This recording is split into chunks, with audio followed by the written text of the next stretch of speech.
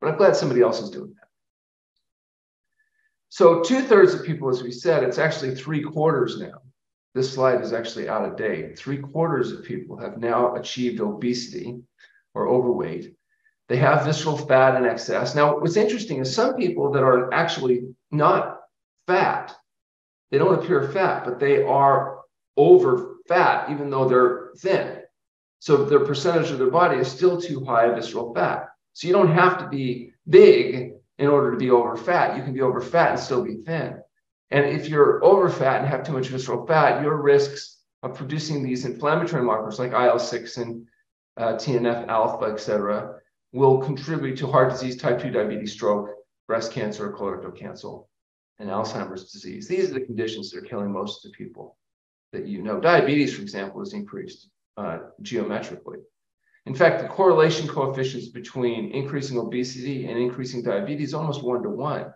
It's almost like there's a you know connection.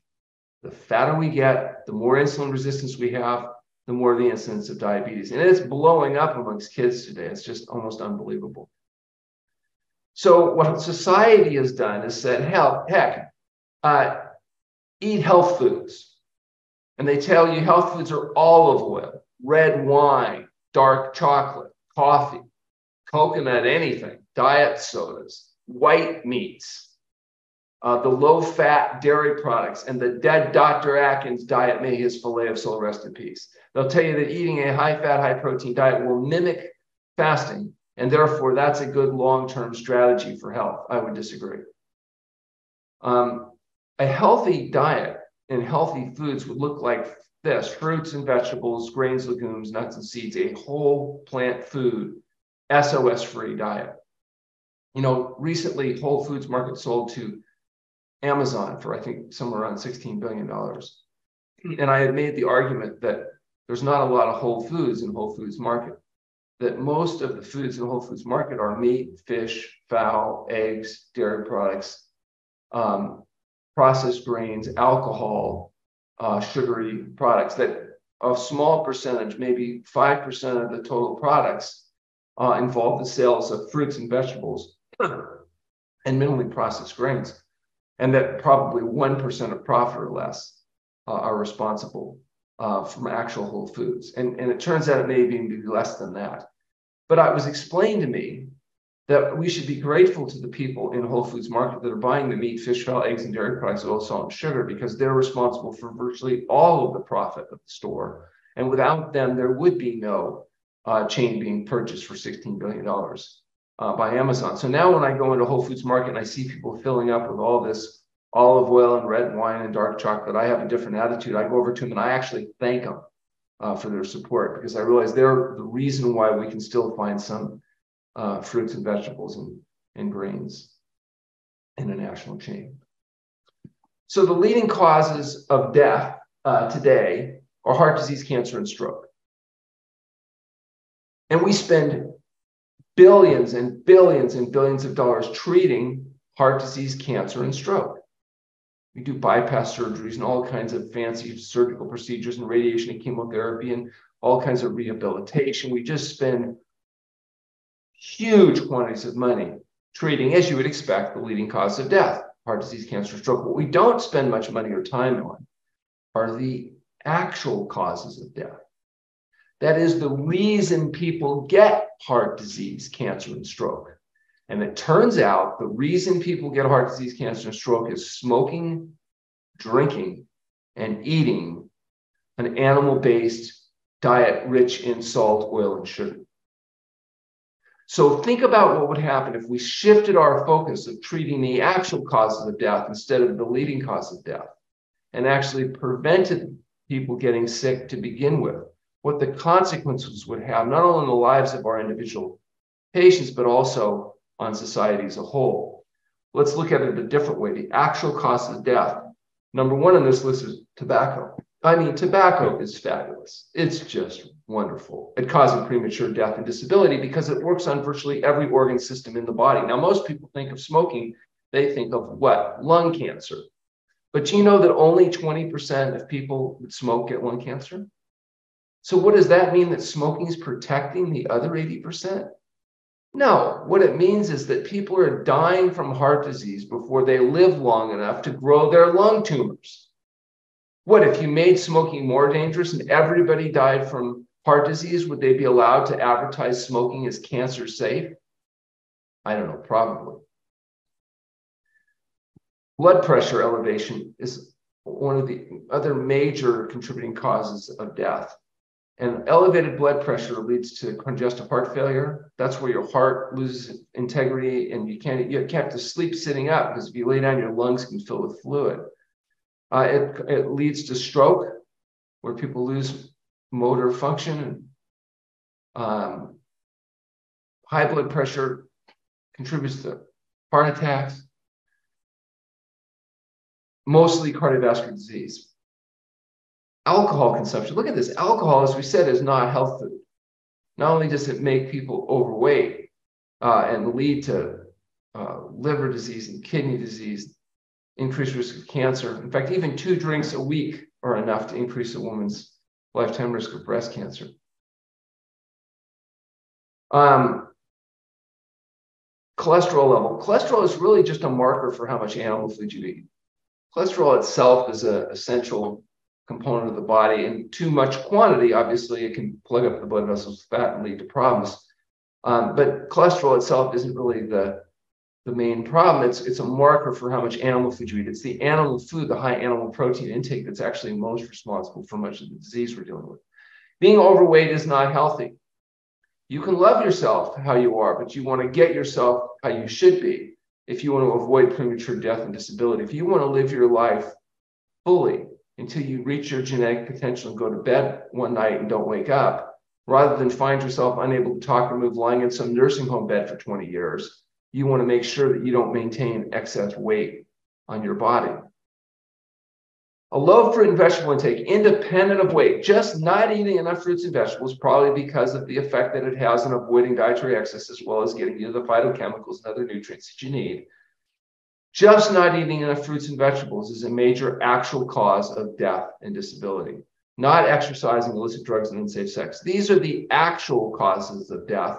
These are where the least amount of attention is paid. That's where we need to focus our full efforts.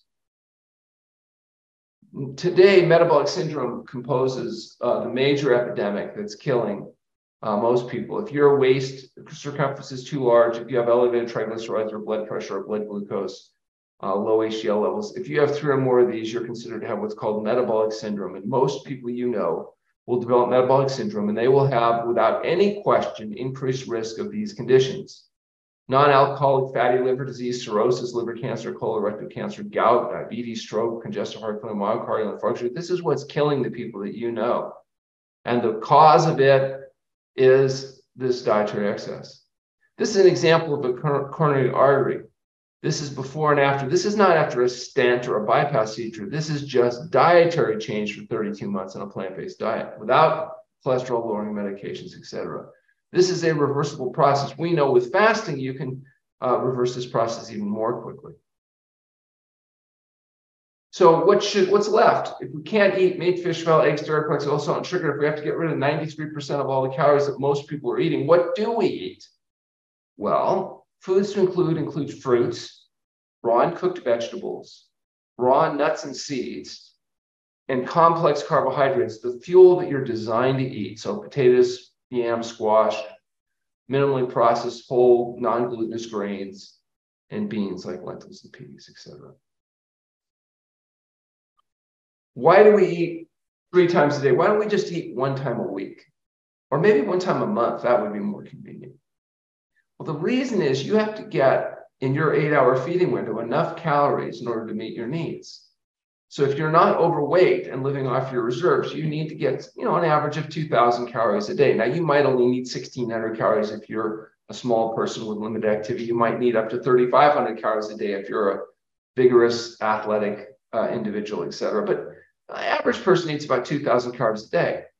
Well, when you remember that salad has 100 calories a pound and fruit has 300 calories a pound and beans, rice, and grains have 500 calories a pound, you realize you need quite a few pounds a day of food in order to be able to get what you eat. And your stomach can only process so much at one time. So if you fill up the human being stomach with these low density foods, you may get somewhere between five, 700 calories or so. And so you have to fill it up two or three times a day just to get enough volume. And so we generally talk about a three meal program breakfast, lunch, and dinner. One meal might be, you know, something like fresh fruit with maybe some oatmeal and flax seeds. Another might be a large vegetable salad, some steamed vegetables, maybe a potato, maybe a, a grains or beans, you know, in the evening meal. Large amounts of salad. Now, one way you can tell if you have enough salad, you can weigh it on a scale, or you can just put it down at work and wait till people walk in the room. And when they see your salad, they'll go, Oh my gosh, you're not going to try to eat all that, are you? And uh, if they don't react with shock and awe, what that means is you didn't get a big enough bowl. You need a bucket. They should react with shock and awe when they see how much you're eating because you're eating a large quantity of low density food. And it's going to fill you up so there's not that much room left to overeat on the high concentrated foods. And you're going to avoid all the animal foods, the oil, the salt, and the sugar. And what you're going to do is if you're a male, you're going to lose three pounds a week down to optimum weight. If you're a female, you're going to lose about two pounds a week down to optimum weight. So why is it that women lose 50% less men weight than men. Is it because men are more disciplined, they're smarter, they work harder? No.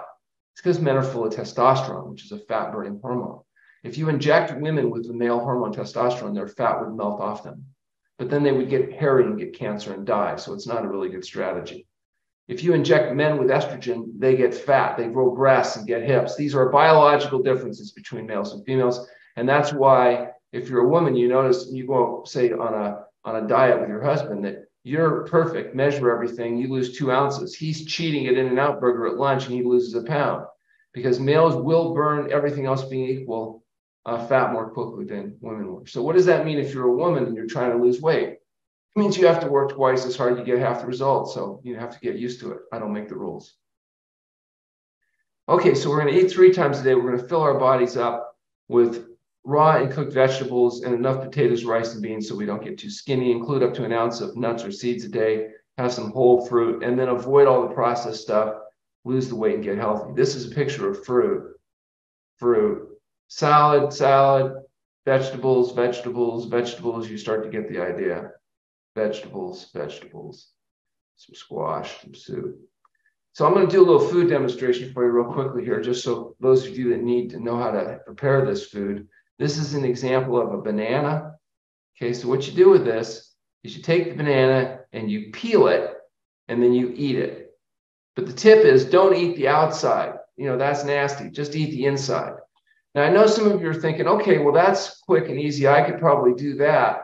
But I want variety in my, my life. I don't want to just eat bananas like that. And that's okay. I'm going to show you how to do it a different way. You take the banana and you start the other way and then you peel it and you eat it. So maybe Monday, Wednesday, Friday, you peel it from the top, and then Tuesday, Thursday, Saturday, you peel it from the bottom. It's a whole different experience. But maybe you want additional ideas on how to eat a whole plant food diet. We have uh, three cookbooks the Health Promoting Cookbook, the Bravo Express Cookbook, and the Bravo Cookbook. These are all vegan, SOS free cookbooks. That means we don't use any animal products or salt, oil, and sugar in any of these recipes. And they are simple enough that even I, I can make them. And if you haven't read our book, The Pleasure Trap, you should. Or if you don't like reading, listen to the audio version of it because it'll explain to you not what you need, not what you want to hear, but what you need to know to get and stay healthy. Um, at the True North Health Center, we offer um, residential care for fasting supervision, and we have an internship and residency program for physicians.